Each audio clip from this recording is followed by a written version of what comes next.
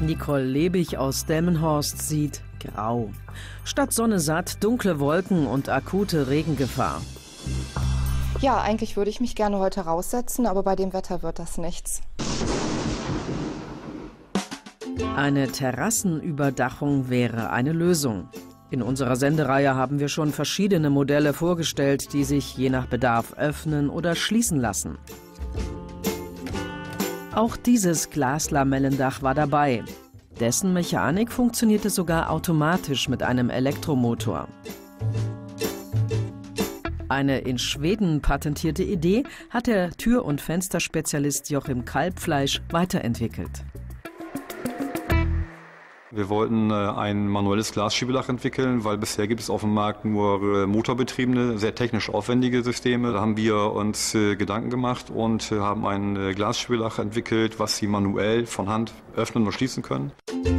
Ein Schiebedach, das gefiel auch Nicole Lebig, denn damit lassen sich die einzelnen Glaselemente einfach und leicht bewegen.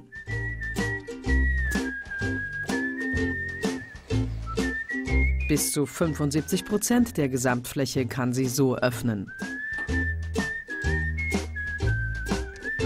Möglich machen das die Führungsschienen im Aluminiumgerüst. Da diese übereinander liegen, kommen sich die einzelnen Elemente nie in die Quere. Kleine Stopper im Inneren sorgen dafür, dass die nicht ungewollt verrutschen. Damit die Glasfelder leicht in den Schienen gleiten, sind kleine Kunststoffkissen an der Unterseite befestigt. Immerhin 20 Kilogramm wiegt so ein Glas im Durchschnitt. Aber ist es auch bruchsicher? Wir äh, haben da verbunden Sicherheitsgläser mit einer Sicherheitsfolie als Zwischenlage.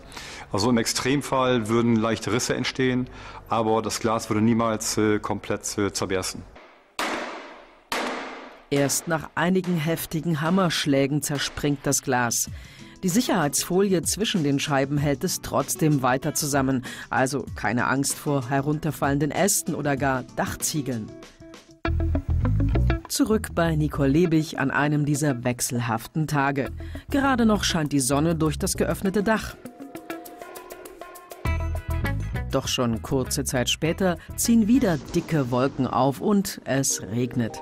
Hoffentlich wird's auf der Terrasse nicht nass. An der Vorderseite leitet eine Regenrinne das Wasser ab. Aber was passiert zwischen den Glaselementen? Tropft es da nicht durch? Hier bleibt alles trocken.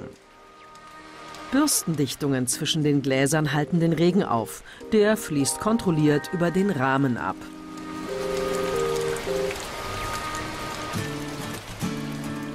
Sobald sich die Wolken wieder verzogen haben, öffnet Nicole Lebig das Dach mit einem leichten Teleskopstab, um dann die frische Luft und die Sonne zu genießen.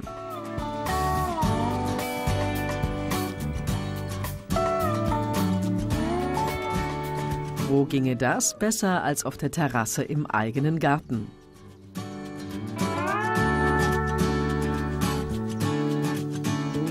Und wenn die Sonne doch mal zu sehr brennt, dann lässt Nicole Lebig einfach die integrierbare Verschattung an der Seite und dem Dach herunter.